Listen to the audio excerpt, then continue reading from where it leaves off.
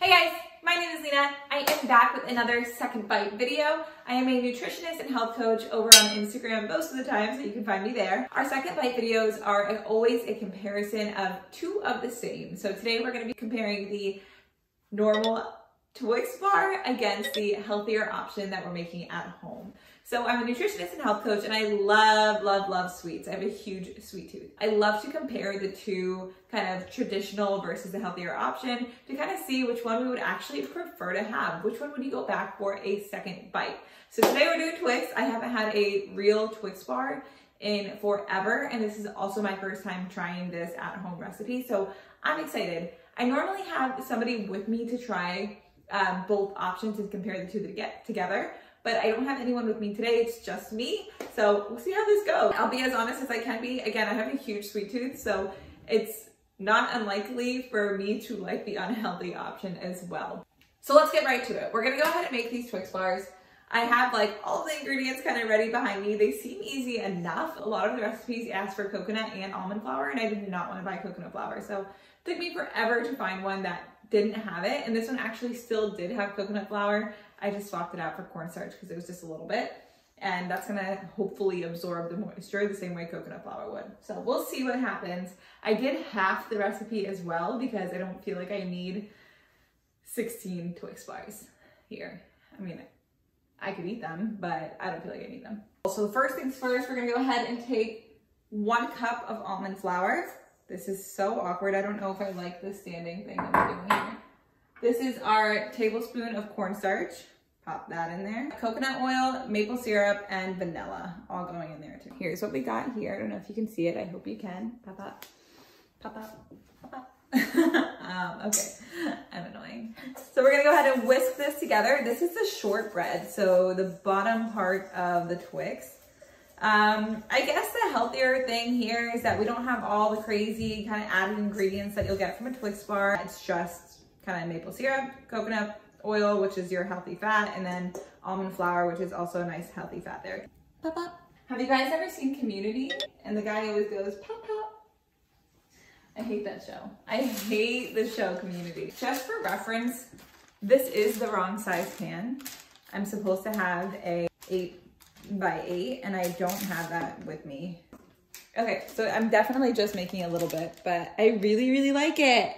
I'm really happy with it. While that's in the oven, I'm gonna go ahead and prepare the middle layer, which is our caramel layer. We're gonna do a quarter cup of almond butter, sticky little guy, coconut oil, maple syrup, and then a dash of vanilla. Okay, and we're gonna throw in a dash of salt there too, just to cut that sweetness a little bit.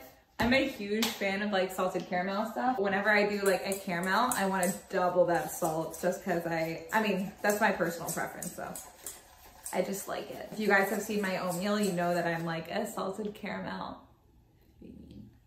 What the heck does like fiend mean? Fiend? Fiend? Fiend? Salted caramel fiend? Wow! Look how darn cute and cute in that one is. Ba -da -ba -ba -ba. I'm loving it. Beautiful. It looks like caramel. I'm really, really, really into this. So the caramel is done now, which is great, but shortbread is still in the oven. So when the shortbread pops out in about 10 minutes, then we'll go ahead and let that cool completely before we pour the caramel layer on top. Then I'll see you back here in 10 minutes. Cool. Okay, that's done, but it needs to cool completely, which takes time. So in the meantime, I'm going to be over here, right there, at, excuse me, I'm eating crackers. Editing what I've recorded so far. So Inception is going on at the moment. All right, so we're gonna take this and pour it on top. Now, because I don't have like an eight by inch, eight by eight inch pan, then it might drizzle over, but I'm just gonna pop it straight into the freezer and hope for the best. I don't wanna lose any to like fall off, so Pray for me. All right, straight into the freezer.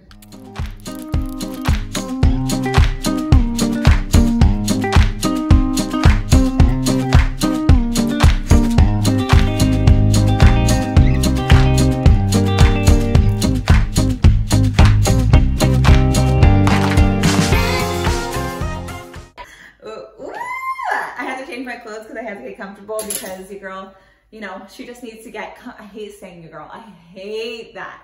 But whatever, I have to get comfortable for um, my Twix. Also, I had a lot of chocolate while I was waiting for these to cool. So the homemade one's already melting, so that's why I have a fork. I don't know if I already said that. We're gonna try that one first. Actually, I lied. Let's try the store-bought one first. I haven't had one of these in a really long time. I've had candy, but not a Twix. You wanna see it?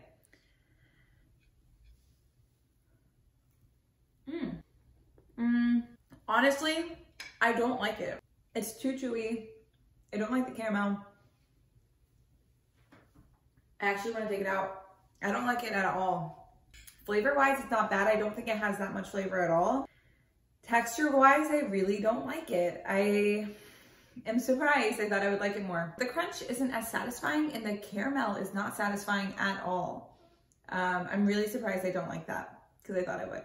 Yeah, I would not go back for a second bite. Rarely do I ever not even finish my first bite, but in that case, I don't want to finish my first bite. Let's try a homemade version. Okay.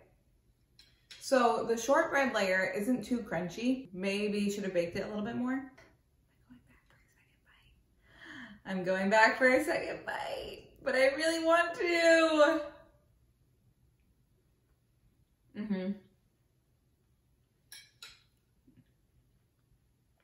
Okay, also not that sweet, but surprisingly, the caramel on this, caramel, I think is more satisfying than the caramel on this, which feels more like toffee.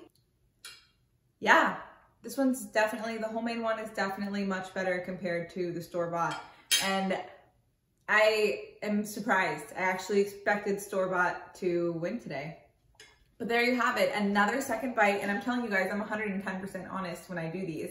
Um, another second bite win video and another healthy one winning. I'm shocked. I really am. I'm shocked.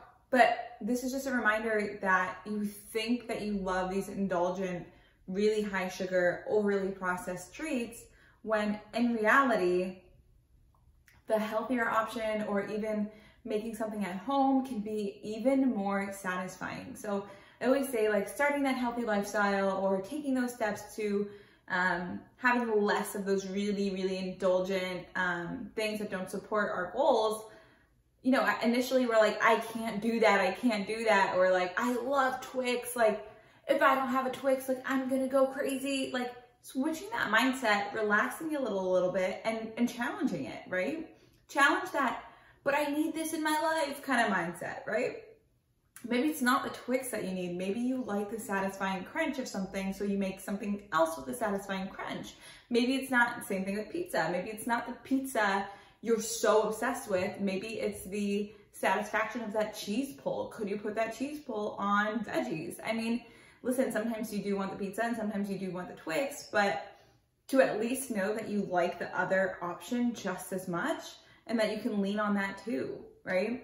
I'm just like, shocked about this one, honestly.